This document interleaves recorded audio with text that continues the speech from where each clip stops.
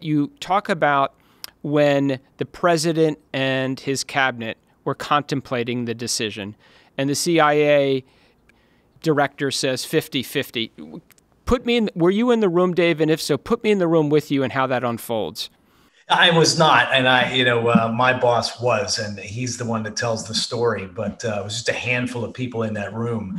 It's the president that goes around his, you know, to his cabinet members and says uh, to Leon, "Hey, what do you think?" And the head of the CIA, whose information intelligence we are using to go on this mission, whose analysts are saying we can't be more certain that it's him. Never 100%, but if you can get to 99, we're at 99 right now. So he does the uh, you know the political tap dance and says, ah, it's 50-50 you know, and um, if he had any courage, he would have said at least 60 40 or something like that. right. On around that table, the, the president went asking his cabinet members, and uh, except for one person, uh, they all said don't do it for various reasons. Even the secretary of defense, who was a Republican, a great guy, uh, politics aside, you know, I don't care what you are, but Gates was well aware and had been involved in the, the, the failed mission in Iran in 1979 and he knew what it did to Jimmy Carter. And he said, "Don't do it." You know, at, at, this point, Bin Laden is, you know, he's nothing anymore, and it's too much political risk.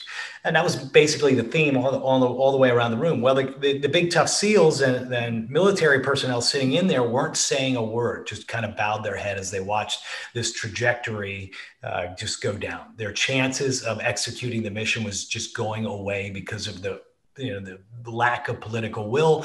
And at that moment you know uh, that young analyst that I, I talked about comes off the top rope uh, raises her hand essentially says hey sir to the president it's him you know and here's how i know. And she laid it out for him. Uh, and to his credit the president went with her. As I tell people, that's an incredible moment of courage. But what you want to create, if you can, and you have your druthers, and it's possible, is an environment where that kind of, you know, Wonder Woman esque uh, courage isn't necessary. You know, it's that should be the norm. Anybody else got anything? You know, and that's unfortunately that's not the kind of environment that we create in the in the United States military or in the United States government. You know, it's it, it is all deference to the authority. Unfortunately, that's not a, a good way to go. So true, Dave. And it sounds like that's a great example of, you know, we think about courage in terms of physical courage. And so much of the raid and the execution of bin Laden talks about the physicality.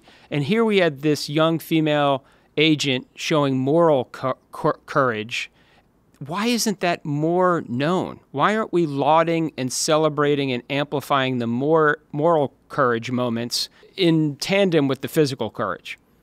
Uh, you know, I just spent the three days with my former teammates. Their questions are all about, you know, how do I approach the person above me? In an operational SEAL team, it's egalitarian. I would expect you to come up to me and say, you know, hey, uh, I have a concern, right? Outside of that, though, inside of that hierarchy, which is the SEAL teams as well in general, it's not that way. That behavior is not rewarded uh, because now what are you going to do? You are basically questioning me. So you're questioning, and our interpretation of that is you're questioning my self worth, you're questioning my competence, you're questioning all of these things, and we don't respond well to that. At the neurochemical level, we don't respond well to that.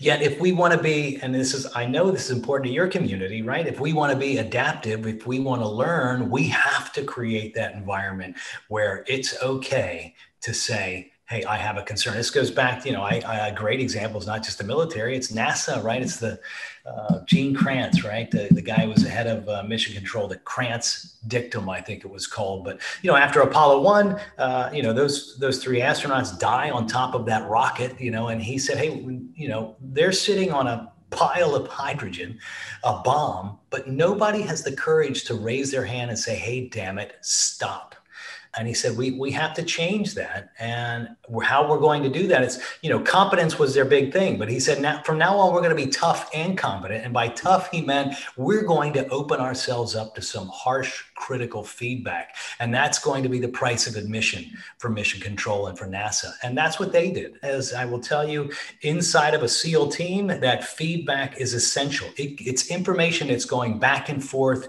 uh, between operators of all ranks. And there is there is not a, a, recognition of rank in those times. And that's why those small units are adaptive, they're flexible, uh, and why our, our, our hierarchies that are more dominance oriented and status oriented and rank oriented are not. Leaders, formal leaders, can set the example by opening themselves up uh, in that way, and you know, and talking about their vulnerabilities and recognizing that you know we have such an gets back to this authority bias. We are all encumbered by that bias, uh, constrained by it. And some people, to the extent where it doesn't matter necessarily what kind of environment you create, they're not going to say anything to you. They're not going to challenge you. You've got to suck it out of them. And that happens in SEALs too. Uh, we're human, right? And so the best leaders I've ever known are the guys that will stand right up and talk about their mistakes. And over time, it's not perfect, but over time, younger operators will go, huh he stands up and talks about his mistakes. Maybe i can talk about my mistakes as well. And maybe we can learn from those you know and that's the intent